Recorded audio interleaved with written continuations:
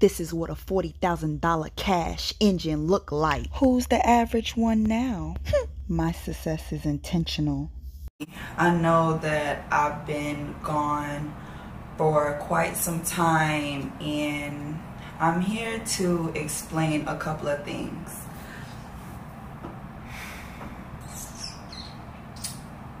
I did not want to make another YouTube video one minute I want to make a video, the next minute I don't want to make a video. One minute I want to update everybody on what's going on with me. The next minute I'm like, I don't want nobody in my business. I go back and forth with it a lot. Let's just start from three months ago. So I put $30,000 into my 1997 Freightliner FLD 120. I decided to go to the oil field and do that type of work, pneumatic work. And in order to do pneumatic work, you have to have a blower, PTO, drive shaft, you have to have a pneumatic trailer, um, hoses. It's just a whole different ball game it's a whole other field in trucking and it's more hands-on than anything I've ever did in my whole entire life when it comes to truck driving.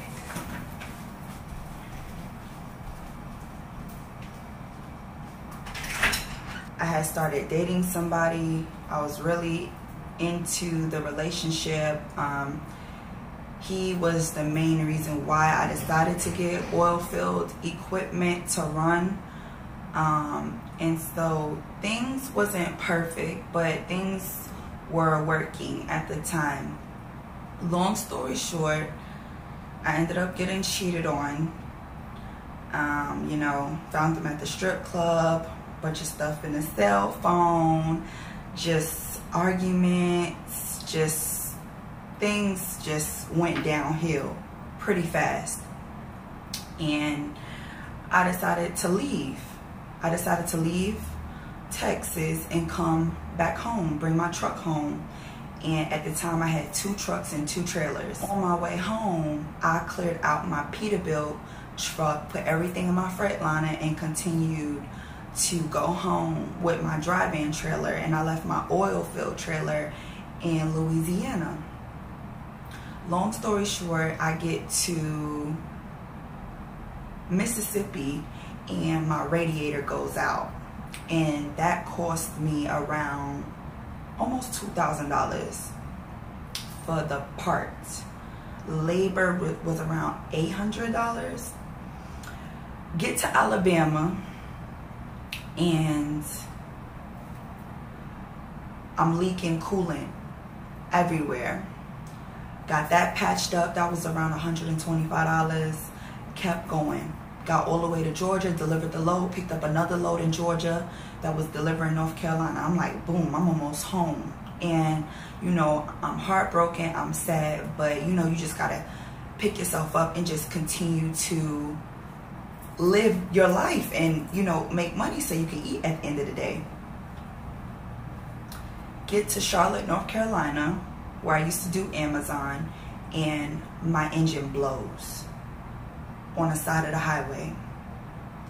White smoke, blow by, knocking, knocking of the engine and I'm low-key devastated. I drive my truck to a nearby shop. I make it all the way there. I go and hop on a flight to Georgia and then from Georgia to Texas, Dallas, Texas.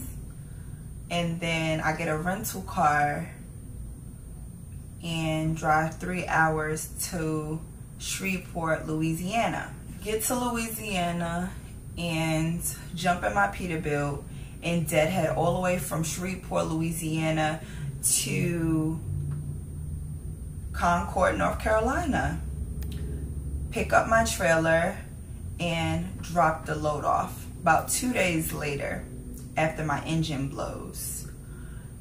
I do dry van for about two weeks and then I hit up the shop owner and I text him and I'm like, hey, any update on my truck? He doesn't text me back. He doesn't call me.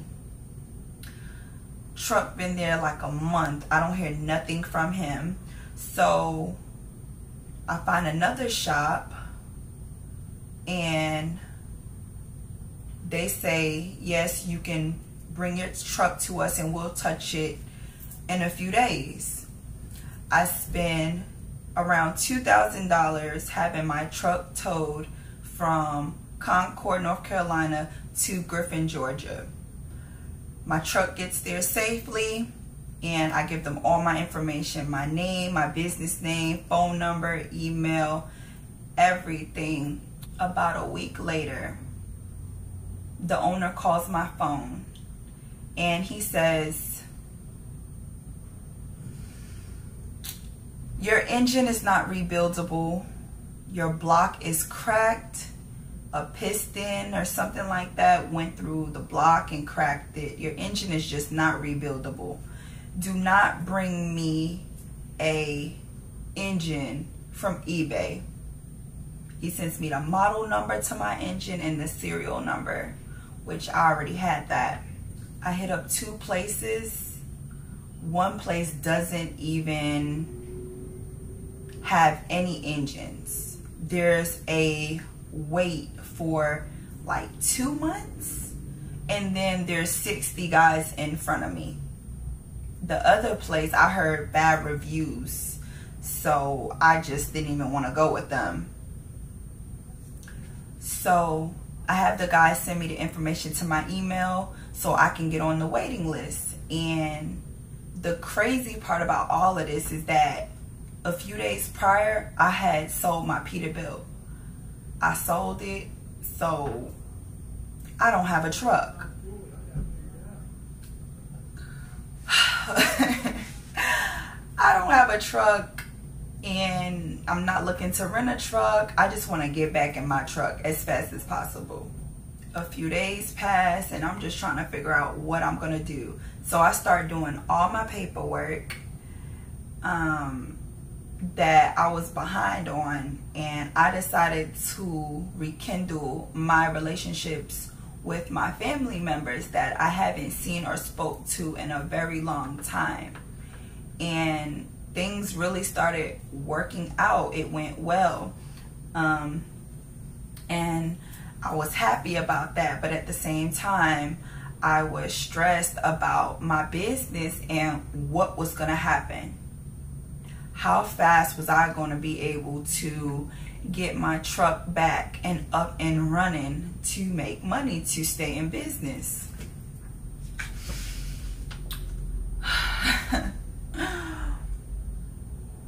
a few days later, I get a call from the guy that I'm supposed to be getting an engine from. He says, I have 10 engines coming. New engines. Are you interested? I said yes. He said it's going to cost you a little bit more money, but it'll be here in a few days. When the engines came, he called me. I paid the money and he sent me pictures. Beautiful engine.